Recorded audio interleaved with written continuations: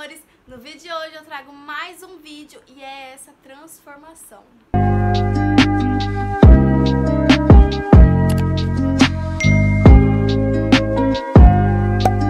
Gente, como vocês viram aí no título do vídeo, sim, estou ruiva. Sim, gente, tirei o preto, cortei o cabelo. Agora, hoje, eu cortei mais um pouquinho ainda. Eu tinha cortado dele mais ou menos aqui, hoje eu cortei mais. Gente, eu tô super amando essa fase. Infelizmente, infelizmente, infelizmente, antes que vocês me matem, por favor, não me matem, eu não gravei o processo. Mas eu vim contar pra vocês tudo como que eu fiz. E ó, antes que vocês me falem, se tiver muito barulho, gente, me desculpa, mas tá muito calor, 40 graus aqui na minha cidade, misericórdia. Eu tô gravando esse cabelo solto, só com Jesus na casa. O ventilador tá bem aqui em cima de mim, tá muito calor. Eu até mudei e eu tô com a luz da penteadeira ligada, a luz da ring light ligada. Então tá tipo assim, insuportável, insuportável. E minha cara tá cheia de espinho aqui, meu Deus. Enfim, a menstruação vem, né? Amém. Mas enfim, gente, eu vou contar pra vocês um pouquinho de como foi esse processo. Eu peço mil desculpas pra vocês por eu não ter gravado. É que eu fiz tudo de um dia pro outro, então me desculpem. Então bora lá pro vídeo. Bom, gente, o que aconteceu? É, um, fazem cinco meses que eu não pinto meu cabelo, ou seja, eu pintei meu cabelo a última vez em abril, se eu não me engano, dia 14 de abril, pelo que eu vi, que eu tirei foto, foi dia 14 de abril, a última vez que eu pintei meu cabelo, ou seja, como estamos em setembro, fazem cinco meses que eu não pintava meu cabelo de preto, e pra quem já acompanha aqui no canal, eu faço a coloração, eu fazia, né, no caso, a coloração de preto azulado. Sim, minha gente preto azulado. Como vocês viram aí, várias... Gente, tá muito calor, tô até com a minha garrafinha de água aqui, tá? Como vocês viram, várias ve vários vídeos aí eu fazendo... Como fala? É, banho de brilho aí. Então tá, eu, a primeira coisa que eu fiz foi pesquisar bastante no YouTube. Sim, gente, eu fiz sozinha essa proeza.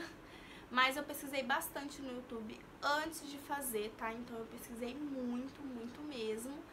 Então, a primeira coisa que eu fiz e achei que daria certo foi a shampoozada, que é o que? Shampoo, água oxigenada e o pó descolorante. Ele abriu muito, muito, muito pouco meu cabelo, ele abriu muito pouco mesmo. Eu vou estar tá deixando a foto, acho que eu não tenho a foto, mas eu vou estar tá deixando a foto pra vocês aqui do lado da, do que eu fiz da shampoozada. Então, eu vou deixar aqui do lado pra vocês. E depois, o que, que eu fiz? Fui, eu deixei em torno de 20, não, 30 minutinhos. Eu, como minha raiz estava totalmente natural, tem quatro dedos de raiz que está totalmente natural, então eu passei quatro dedos abaixo da raiz, porque eu sei que se eu passasse na raiz, como meu cabelo é muito fácil de abrir, quando ele tá natural, né, é, ele abriu muito rápido e ia ficar uma cor muito diferente uma da outra. Deixei os, os 30 minutinhos, fui ver, não abriu quase nada, abriu muito pouco mesmo. O que que eu fiz? Fui, e descolori novamente no mesmo dia. Fui e lavei somente, só tirei, não lavei com shampoo nem nada, só tirei somente com a com água mesmo, sequei no secador e usei o pó descolorante, mas eu tava usando o pó descolorante, o comum, que é o de camomila. Gente, usem o pó descolorante. Tá mexendo muito, gente. Tá batendo um sol aqui, ó. Olha.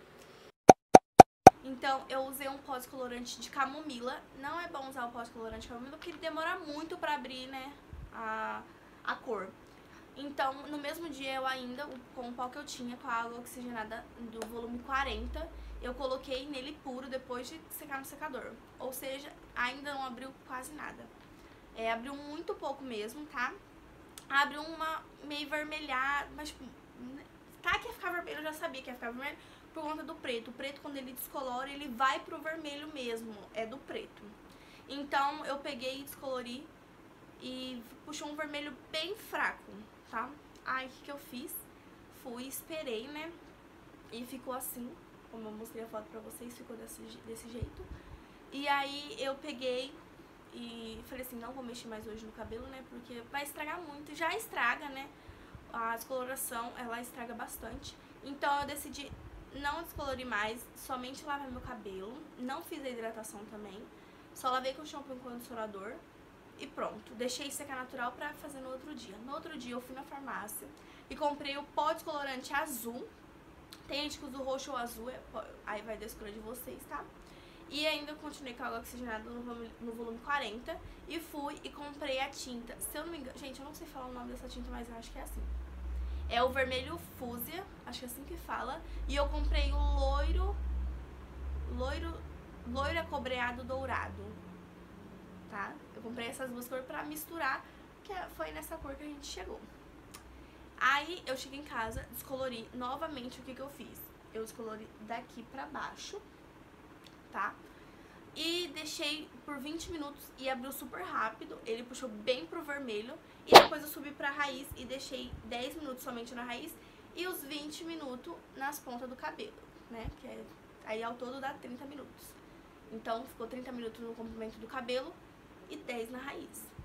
Gente, ficou desse jeito. Não riem de mim, que eu tô parecendo um mico leão dourado, porque tava loiro vermelho. E as pontas foi uma, um dos lugares que mais foi difícil de abrir porque é onde estava o pigmento preto. Não, então as pontas foi bem difícil de abrir.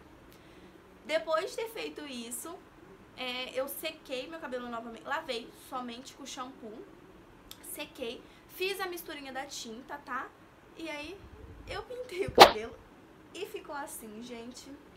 É, eu sei que agora eu, aí eu cortei também porque as pontas ele deu uma quebrada muito boa, porque eu fiz três descoloração, né? E o preto é muito difícil de sair como vocês estão vendo aí, tem uns reflexos bem pouquinho, mas tem uns lugares que tá um pouquinho mais escuro por conta do preto, né? Isso vai ser o tempo que a gente vai tirando. E agora eu estou ruiva, gente. Agora o nosso conteúdo é pra ruivas, tá? Então eu vou trazer bastante hidratação pra vocês. Eu vou pegar aqui pra vocês, ó. Eu fiz até um caderninho, ó. Eu fiz umas anotações do que eu vou... do meu cronograma. Aqui eu coloquei pra cabelos danificados, tá? Porque danificou um pouquinho sim, é, eu tive um corte, eu cortei bastante meu cabelo, porque meu cabelo tava abaixo do peito. Então eu cortei bastante, mas foi bom. Eu já queria cortar meu cabelo mesmo, tá? Antes de antes que vem falar, eu já queria cortar meu cabelo já. Então eu aproveitei essa deixa. Hoje eu cortei ainda mais, viu? E, gente, eu espero muito que vocês tenham gostado, tá? E qualquer dúvida aí, vai falando aí pra mim. Tem gente já que viu que eu postei lá no Instagram uma fotinha lá, pum, soltei uma fotinha. Então vocês já viram já uma fotinha lá no Insta, tá bom? É, eu fiz esse vídeo bem rapidinho. É, eu peço novamente desculpa pra vocês por não ter feito o processo, né, da transformação. Mas é que foi bem assim, de um dia pro outro, que eu falei assim, não, hoje eu vou mudar. E eu mudei, gente. É, então, eu amei. Ó, ele, aqui ele tá bem brilhoso, como vocês podem ver, ó, não tá ressecado. As pontinhas que tinham ficado um pouquinho mais agredidas, eu já cortei bem. Porque conforme eu fui secando, ela, ele ficou um pouquinho elástico a ponta. Gente, tô com chiclete na boca, tá? Não é nada. Ele ficou um pouquinho elástico na ponta. Então foi onde eu cortei, porque conforme tá elástico, vai subindo, né? Conforme a gente vai penteando o cabelo, isso pode subindo e danificando mais o cabelo e dar um corte químico.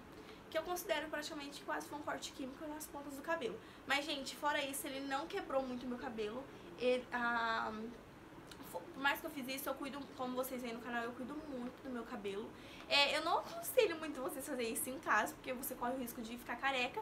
E um detalhe, eu fiz isso dois dias antes do meu aniversário. Pra quem não sabe, meu aniversário era 17 de setembro, tá?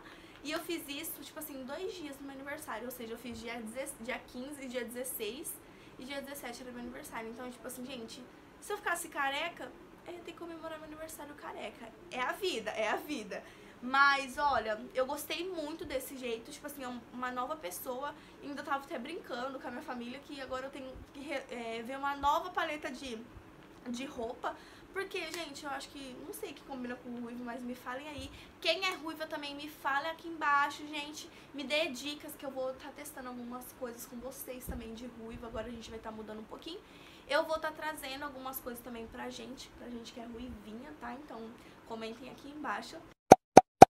E, gente, esse foi o vídeo. Espero muito que vocês tenham gostado, tá? Não se esqueça de deixar o like, ativar o sininho de notificação, se inscrever aqui no canal pra ficar por dentro de tudo.